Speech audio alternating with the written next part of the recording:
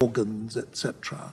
Might we not still be, as it were, plastic at the edges? Might we not still be uh, developing and evolving. changing and genuinely evolving, if only on the margin? Well, I think one has to be again very cautious here because while it's true at a very in a, in a very vague sense to say it's correct to say that the systems that we now have have developed through evolution, through natural selection. It's important to recognize how little we're saying when we say that. Uh, for example, it is certainly not necessarily the case that every particular trait that we have uh, is the result of specific selection. That is, that we were selected for having that trait. In fact, there are striking examples to the contrary, or at least apparent examples to the contrary. Say, take for example our capacity to deal with abstract properties of the number system. Now, that's a distinctive human capacity, as distinctive as the capacity for language. Uh, any normal human, in fact, down to pathological levels, can comprehend the properties of the number system and can move very far in understanding their deep properties. Uh, but it's extremely difficult to believe that this capacity was the result of specific selection.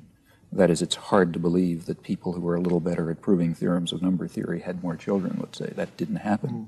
In fact, through most of human evolution, in fact, essentially all of human evolution, this capacity was, it would have been impossible to know that this capacity even existed. The contingencies that allowed it to be exercised never arose.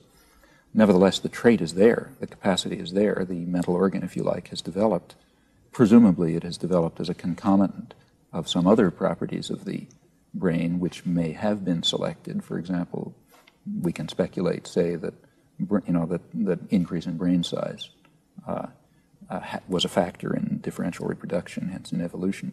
And it may be that for physical law, because of physical laws that we presently don't know, that an increase in brain size uh, under the specific conditions of human evolution simply leads necessarily to a system which has the capacity to deal with properties of the number system. Well, then that's a matter of physics ultimately. Uh, and then the mind that evolves, the brain that evolves, will have this capacity, but not because it was achieved through selection. Now, I think it's, it's at least likely that something of the sort is true of human language. And, I mean, surely if, if it were dysfunctional, it wouldn't have been maintained. It's obviously functional. Uh, but it's a long leap to claim that, uh, that the specific structures of language are themselves the result of specific selection, and yeah. it's a leap that I don't think is particularly plausible. What you say, though, about the limitation